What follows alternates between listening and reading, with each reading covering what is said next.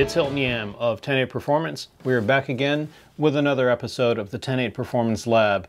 We are in a new setting and a new format. And if you follow along on my Instagram account in the stories, a little poll to see if you guys were up for a format change where we got a little bit more information and maybe a little bit less production. So just here in my office and uh, we're going to talk about a topic which keeps coming up. It's I guess, pretty hot and contentious topic now that the Staccato 2011 is really popular. So you can see I've got the rubber band on here and uh, pinning the grip safety with a rubber band from, uh, from my groceries.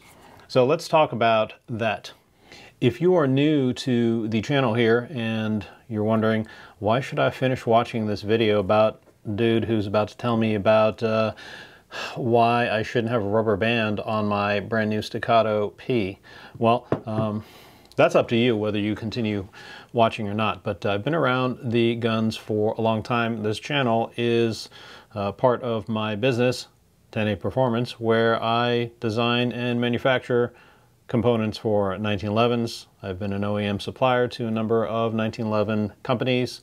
I've been an OEM supplier to Staccato 2011. I stood up the Staccato slash STI law enforcement armorer program. Been around the guns since uh, 1911s, since the early 80s, and I've been around the uh, double stack 1911 since its inception in the early 90s.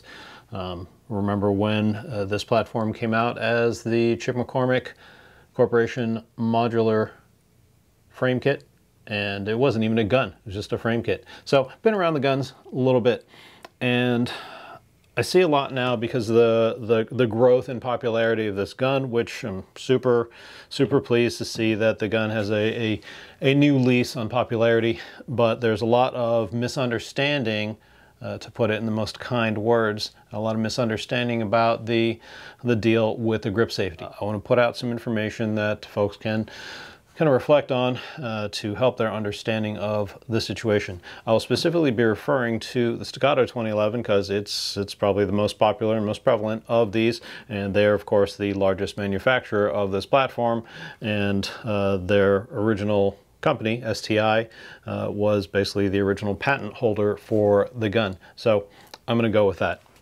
So the Staccato 2011 obviously derived uh, back in the early 90s, 1992, uh, from a 1911. So I'll refer interchangeably between the guns because the grip safety works the same way. And I gotta take this thing off here. I can't take this. All right, rubber band is not the way.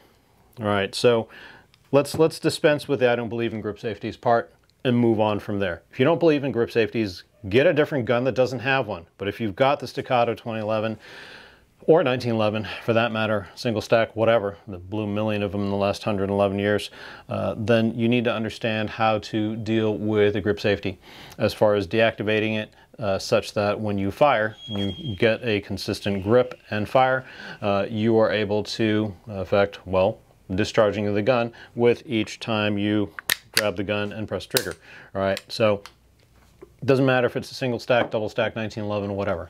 All right. So if you've never seen the issue before, well, good for you. You, you know, candidly, you haven't been around the gun enough then uh, to get a good sampling of different users in different environments with different guns. I've been around the guns enough such that um, having issued them, worked on them, used them in a law enforcement tactical team setting, uh, seen guys, whether uh, it's hand size, wearing gloves, whatever, or just the way that that particular gun is set up, where you end up having a user who's unable to consistently deactivate the grip safety uh, during the firing sequence, such that uh, when they grab the gun, disengage the manual safety and go to fire, uh, the grip safety hasn't been depressed far enough to uh, deactivate and free the trigger. All right, so that's an issue. So you can end up with this kind of situation instead of this. All right, so those are, that, that's basically the crux of the matter. As far as the actual issue at hand is as far as whether your grip on any given repetition is able to deactivate the grip safety or not, uh, while technique certainly has a certain measure of relevance to uh, the issue, your technique can vary, again, based on hand size, gloves, maybe just get a bad draw. All right, so telling someone who's having an issue with deactivating the grip safety consistently during their draw stroke uh, and firing, uh, telling them to just man up or, or you know, grip the thing harder, change their technique. None of those things are actually the correct solution either, because if a person uh, is dependent on a very specific grip, maybe they have to change it to a lower grip to activate the grip safety, uh, they will end up defaulting to something else on a given rep, and then so maybe they went from uh, only 60% success of deactivating grip safety to 95%. Well, you still got that 5% of failure. So we want to eliminate that. And again, that's where the rubber band tape thing comes in as one of the proffered solutions. Uh, you know, the rubber band they just threw somewhere onto the floor here earlier, uh, if that were only to shift a little bit or if it were to snap, and I don't care, I know that one's from like a head of broccoli or something, but uh, um, I don't care if you use something nicer and it, it tears off or shifts or whatever, you have some kind of issue, you are out and about, say you're using this as your carry gun, your duty gun, whatever, uh, and something happens to that rubber band and it comes off and you know at best you're 50% for grabbing the gun and getting it to fire. Now you're hanging around wondering, instead of just doing your work, minding your own business, doing your thing, you're wondering, uh, if I need to do anything with the gun, or even if you're at a class, uh, well, now I'm only at 50%, got a lot of issues with engaging the grip safety, and now I need to go hunt around for some more tape or rubber band on the break. That's just foolishness. So what does this issue actually look like? Well, if you crack inside the 1911, uh, the grip safety has a little arm on the inside of it that pivots up and out of the way uh, to free the trigger bow to allow it to move. All right, so if that uh, arm is dimensioned or fit such, because it has to be fit uh, by someone at the factory, and how much attention they put on it is uh, going to be one of those things that will determine how your gun works out for you. Uh, I know the Staccato factory, at the time that I used to contract with them, had a specification where the grip safety was supposed to disengage at about halfway during the grip safety's travel. Halfway is pretty subjective, and getting it tuned uh, exactly a certain way, like a certain percentage or whatever, is kind of time consuming. So there's going to be some variance on each gun. Let's take a look at this. This is a Springfield Emissary 9mm, and uh, I've got the uh, grip safety actually marked with some uh, silver Sharpie here. Grip safety all the way out, all the way in.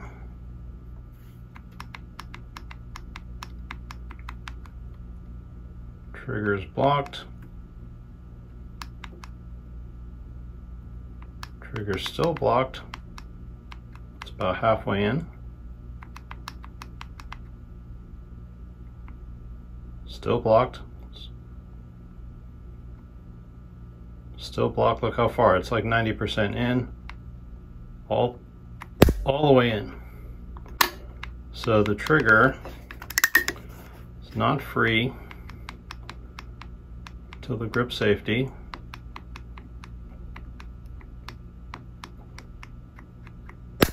is fully depressed less than ideal. Means that every time I grab the gun to fire, I must fully depress the grip safety. Can I shift my grip? Can I have gloves that might compromise my grip? Uh, can't even just get a maybe a bad grip because then there will be a bad draw and then be no bang bang.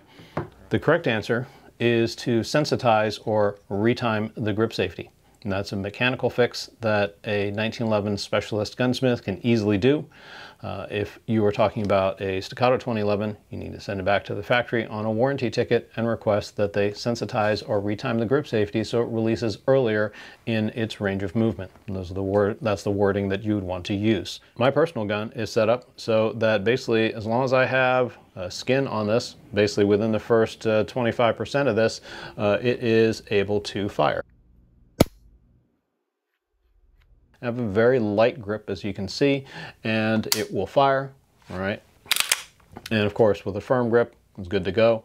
But I have a, a, pretty light grip, pretty much as long as I got skin on it, and the trigger is going to disengage. And that's something that I set up on mine. The gun was fine, it was at about 50%, but I uh, set it up a little bit lighter. And it's not something you're likely going to be able to do yourself after watching a YouTube video because keep in mind the grip safety on this gun is fit and blended to the gun. So if you ruin it, you can't just go on brownells.com and order a new part and just drop it in. It is not a Glock. It is fit, blended, and finished to match your gun. So that's a one-way trip. So if you make a mistake because you thought watching that one video on YouTube was going to be enough, good luck. Next question comes up is, hey, what about pinning the grip safety? Uh, I shoot the gun only for recreation and competition. I don't believe in grip safeties. I don't feel like I need it, uh, but because all, all, I do is shoot it for fun, that's fine. Uh, pinning the grip safety is an internal uh, matter and uh, again, specialist gunsmith who does uh, competition 1911 2011 type work easily do that for you. There's a bunch of different techniques for doing that. Uh, they are reversible in case you change your mind. Uh, usually they're reversible uh, in case you change your mind. There's a bunch of different ways around it. Uh, when I shot competition USPSA and so forth uh, I definitely had some guns that had either pinned or disabled grip safeties. Uh, and again those were guns that were strictly for competition use all right if you are considering the use of this gun for duty or CCW use, uh, where you have any concerns about incurring some form of liability uh, at all, whether it's real, perceived, or uh, you know theoretical, uh, I would definitely leave the grip safety uh, functioning. It's it's a safety device that's on the gun, and bypassing it. I don't want to go into a shooting review with a wrong answer already in my pocket, and I want all the right answers get someone who is a specialist in the gun to fix it the way that you want, whether it is pinning, disabling, or retiming, and then you're off to the races. Last consideration, just from a simple standpoint, this retail, I think, is like a $2,500 gun, minus the optic and the light and anything else that you might have done to it. And really, are you going to stick a rubber band or a piece of tape on it? Would you get a new sports car and then hold part of it together with duct tape or rubber bands because you're too lazy to get a mechanic to fix part of it correctly? Brings us to the end of a little public service announcement about the uh, 2011-1911 grip safety. Uh, if you enjoy the content here on this channel, uh, please support. Go to the website. Link is in the description below. You can check out the different products that we have on the web store.